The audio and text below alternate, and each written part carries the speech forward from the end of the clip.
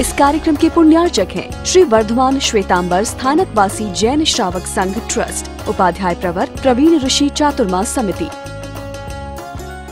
इस अंतगढ़ की आराधना करते समय कैसा बीज बोया जाए कि वो पल जीवन में आए कि अगले जन्म में मोक्ष हो जाए।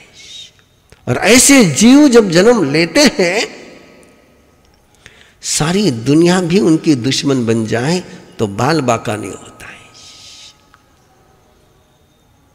किसका पुण्य काम करता है? ऐसा आपको लगता है कि सुलसा की तपस्या के कारण से ऐसा हुआ? नथिंग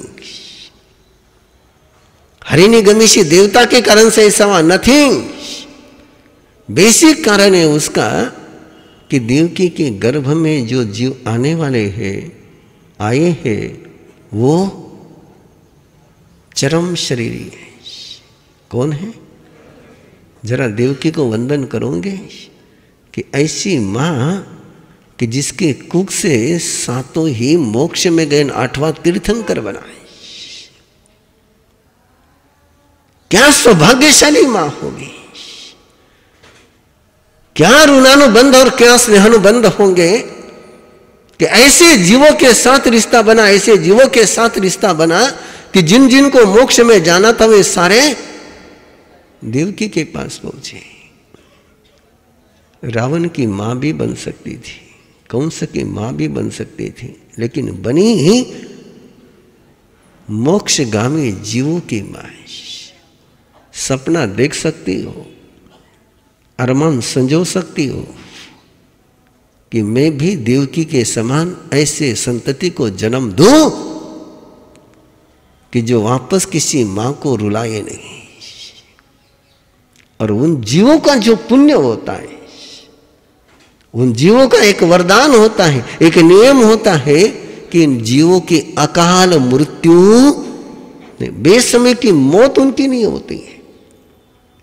कोई चाहे जितना प्रयास कर ले उनको मारने का जिस समय उनका आयुष्य कर्म पूरा होगा, तब तो वो मोक्ष में ही जाएँगे, मृत्यु होने वाली।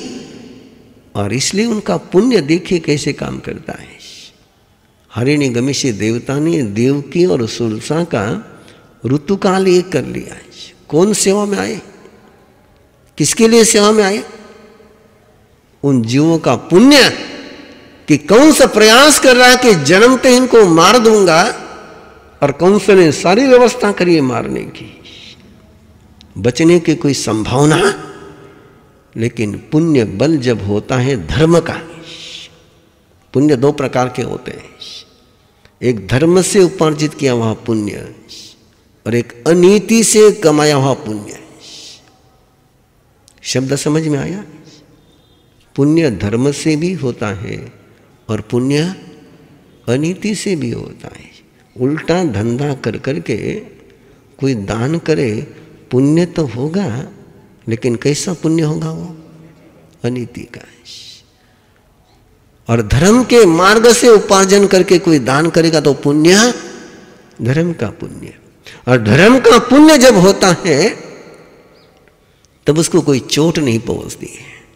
अनिति से कमाया हुआ पुण्य कहाँ लेकर के पटकेगा, कहाँ ले जाकर गिराएगा, कोई भरोसा नहीं है। इसलिए कंस के पास पुण्य था, लेकिन अनीति से कमाया हुआ पुण्य था। और इन सातों ही जीवों का पुण्य नीति से, धर्म से कमाया हुआ पुण्य था। जो नीति से, धर्म से पुण्य कमाते हैं, वो चाहे एक पैसे का पुण्य कमाए वो एक अरब का फल दे जाता है। और अनिति से कमाया हुआ एक अरब का पुण्य भी एक रुपए का फल दे जाता है। इसलिए पुण्य कमाता है, कृष्ण लेशा वाला जो भी पुण्य कमाता है, और शुक्ल लेशा वाला जो भी पुण्य कमाता है। लेकिन दोनों के पुण्य में ज़मीन आसमान का अंतर है। एक पुण्य में से सिद्धि का फल लगता है, और एक पुण्य से रोने का परिणाम सामने आता है। सोच लेना कौन सा पुण्य कमाना है। हरिणी गमिशी देवता ने दोनों का पीरियड एक साथ आ जाए। क्या देवता कर सकते हैं? देवता ना कंस को रोक सकते हैं, ना मरने वाले बच्चे को ज़िंदा कर सकते हैं। लेकिन क्या कर सकते हैं? आप लोग क्या सोचते हो? जो कर सकते हो सोचते हो कि जो नहीं कर सकते, वो सोचते हो। क्या सोचना चाहिए? अब जन्मा है, उसका आयुष्य तो पूरा हो चुका, मैं क्या कर सकता हूँ? अब कंस ने तय कर लिया जन्मते ही मार देना है तो अपने हाथ में क्या रहा? ये सारे नहीं कर सकना सोचने वाले व्यक्ति हैं। ऐसी कोई सिचुएशन नहीं होती, ऐसी कोई परिस्थिति नहीं होती है कि जहाँ तुम कुछ नहीं कर सकते हो। और जो तुम कर सकते हो वो करते चले जाओ तो मंजिल मिलती ही मिलती जम सकई तम की रही याद होगा ना आदर्श शासन परिषद वालों को? बोलो, जम सकई तम की रही जो शक्य है वो करे बिना मत रहो। हरि निगमी से देवता जेल खाने से देवकी को बाहर नहीं ला सकता था। हरि निगमी से देवता सुलसा के मरने वाले बच्चों को ज़िंदा नहीं कर सकता था, लेकिन हरि निगमी से देवता एक काम कर सकता था कि दोनों का पीरियड एक साथ आ जाए। और पीरियड जब एक साथ आता है तो गर्भ की धारणा भी एक साथ होती और गर्भ की धारणा एक साथ हो गई तो जन्म भी एक साथ होता है। परिवर्तन कहाँ करना? रूट कॉज में कि बीच में? रूट कॉज में। फाउंडेशन स्टोन और हरिणी देवता ने दोनों का ऋतुकाल एक कर लिया और दोनों को ही पता नहीं, माता को, सुलसा को भी पता नहीं और देवकी को भी पता नहीं क्या खेल चल रहा है। और चरम शरीर जीव को देव की जन्म देती है। इधर मरे हुए बच्चे को सुलसा जन्म देती है। और हरिणी गमेशी देवता इन दोनों का ट्रांसफॉर्मेशन, ट्रांसफ़र कर देती। इधर का, उधर उधर का देवकी को लगता है, मरे हुए बच्चे जन्म गए। और सुलसा को लगता है कि बच्चे ज़िंदा जन्मे। पाए किसने, जाए किसने, पाए किसने, जाए किसने क्या ये संसार का गणित है? जिसने धारण किया, उसने जन्म दिया लेकिन पाया नहीं। और जिसने जन्म नहीं दिया, उसने पाया कहा माथा पच्ची करोगे? है ना? क्या हो सकता है? कल्पना तो करो। हम इतना सारा गणित लगाते चले जाते, लगाते चले जाते कि अरे हाँ अब इतना करा है तो जाएँगे। अरे जाएगा तो भी पाएगा नहीं। और जिसको पाया उसको जाया नहीं। जिसने जाया था बच्चे, लेकिन हरिणी गमीशी देवता ने एक पल में ऐसा खेल खेला कि इधर जन्मा इधर जन्मा, इधर कहा इधर कर दिया। और कौन सा खुश हो गया? कौन सा? किस बात पर? क्या मेरी दहशत है? क्या मेरा प्रभाव है कि मारने के पहले ही बच्चा, आप कभी ऐसी खुशी मनाते नहीं मनाते हो? कभी मनाई नहीं मनाई? क्या मेरी दहशत है? हाँ मैंने नज़र उठाई और वो तो ऐसा ही भाग गया। मुझे कुछ करना ही हाँ। याद रखना, ये कंस का सोच है। जब भी तुम ये सोचोगे अंदर कंस का बीज पड़ेगा? और कौन सा सोचता है कि क्या मेरा डर, क्या मेरा भय, क्या मेरा प्रभाव कि मुझे मारने की ज़रूरत ही मरा भाई जन्मा? वो सोच भी नहीं। दिस्त तस नस्त मनोन जग फस्त। जैसा दिखता है वैसा होता। इसलिए दुनिया उलझती है। अब उसको क्या पता कि जो जन्मा है वो तो सुरक्षित है। तुम क्या मार सकोगे? जिसके पास अपना पुण्य है, धर्म का पुण्य है, उसका कोई बाल बाका नहीं कर सकता है। अनिति का पुण्य हो तो बाल बाका हो सकता है, लेकिन धर्म का पुण्य हो तो बाल बाका नहीं हो सकता। ये सुलसा की कथा, ये देवकी की कथा है। और फिर श्री कृष्ण का जन्म तो आपको पता ही है। और कैसे उसके ट्रांसफॉर्मेशन के लिए हरिणिगमिशी देवता नहीं आया? क्या मज़ेदार बात है, देखो। है ना? कि उस समय कोई सुलसा थी ही नहीं। तो देव की ले जा करके वो हरिणिगमिश ले जाता कहा पर लेकिन वासुदेव के लिए वसुदेव को ही जाना पड़ा लेकर के। बंधन तुम बाँध सकते हो, बंधनों में किसी को जकड़ सकते हो, लेकिन याद रखो, कितने भी बंधन हो तो तोड़ने के रास्ते हमेशा खुले होते हैं।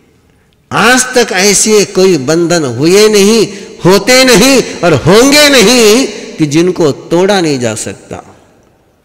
ऐसी कोई दीवार बनी नहीं, ऐसा कोई ताला बना नहीं कि जिसको तोड़ा ना जा सके। किस बात की? अंतगढ़ सूत्र है ये। ये बंधनों को जीने का सूत्र नहीं है, बंधनों को तोड़ने का सूत्र है। और वो सुलसा के वहाँ जन्मे हुए छे। अब सुलसा को भी पता नहीं कि देवकी के हैं। और उन बच्चों को भी पता नहीं कि गर्भ में किसके रहे थे और दूध किसका पिया है। रहस्य समझ में आ रहा है कुछ? इसलिए मैं बहुत बार कहता हूँ इन माताओं से, जो लोग आईवीएफ ही करने के लिए जाते हैं ना, जब इनको नॉर्मल संतति नहीं होती तो वो मेडिकल साइंस में जाते हैं। मैंने कहा काय को माथा पच्ची करते हो? थर्टी फाइव परसेंट रेट नहीं है उसका सक्सेस का। Sixty five percent, hundred percent fail है। तुम्हारे नहीं जन्म रहे तो जन्मे हुए को तो तुम ले सकते हो ना। कोई ज़रूरी है? कि जिसको तुम जाओ उसी को तुम पाओ अंतगढ़ सूत्र ये कहता कि जिसको तुमने जाया नहीं, उसको भी तुम पा सकते मुझे लगता है कि एडोप्शन का सबसे पहला रेफरेंस के अंतगढ़ में है तो यही है। उनको पता ही नहीं एडॉप्ट किया हुआ। और वो छह ही बेटे बिल्कुल इतने सुंदर अप्रतिम रूप, अनुपम रूप, उनके जैसा सौंदर्य और नाग गाथापति उनकी, उनको पाकर के खुश है, सुलसा खुश है, अपने भाग्य पर इठलाती है। उनका विवाह होता, शादी होती, सब कुछ होता, सब कुछ होता। और अरिष्ट नेमी परमात्मा पधारते हैं। और अरिष्ट नेमी परमात्मा पधारे, उनका प्रवचन सुना, उनके दर्शन किया, और परमात्मा के राह पर चलने का निर्णय हो गया। है प्रवचन और दर्शन तभी सार्थक होता है, दो साल पहले चिंचवड़ पुना के पास के एक छोटे से गाँव में से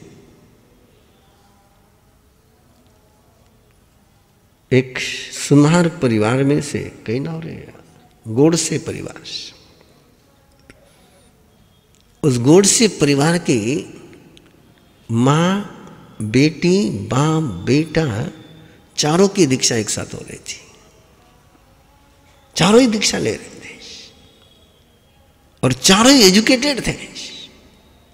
बाप तो जर्मनी में था सॉफ्टवेयर इंजीनियर वहाँ की सर्विस छोड़ करके आया हुआ बेटा भी होशियार जब जानकारी मिली कि चारों दीक्षा ले रहे हैं तो मन मिलने का हुआ है।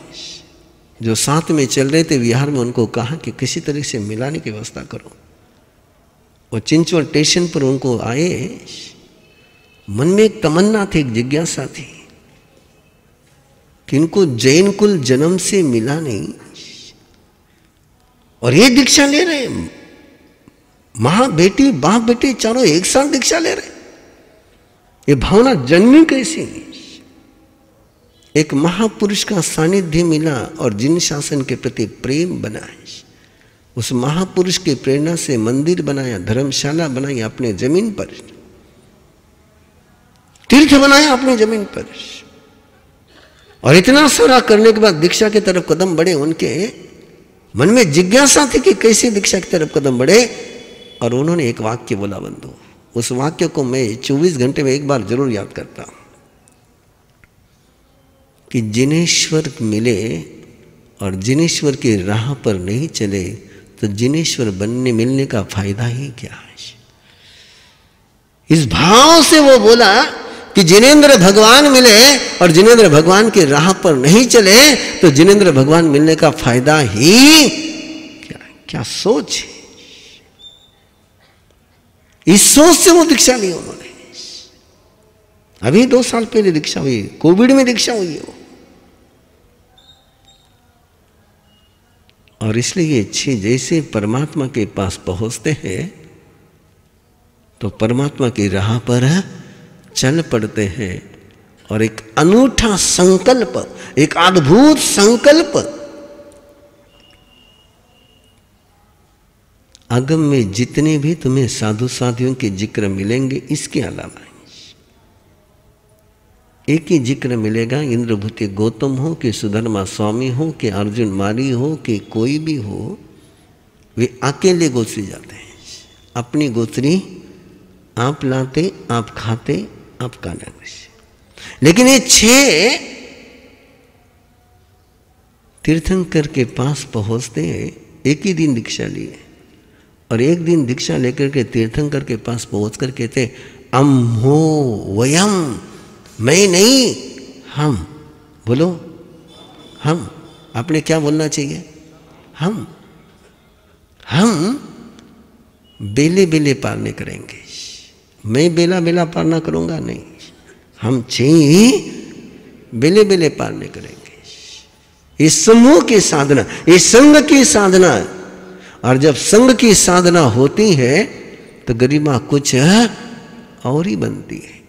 अकेले की साधना तुम घर पर बैठकर प्रतिक्रमण करो, समूह में बैठकर प्रतिक्रमण करो, तुम घर पर बैठ कर ऑनलाइन यूट्यूब पर सुनो और यहाँ बैठ करके सुनो, ज़मीन आसमान का अंतर है कि यहाँ जो संवेदना होती है, यहाँ जो ऊर्जा मिलती है, आपकी ऊर्जा मुझे मिलती है।